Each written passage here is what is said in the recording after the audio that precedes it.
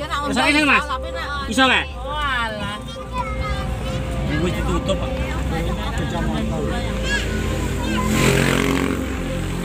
Thank you.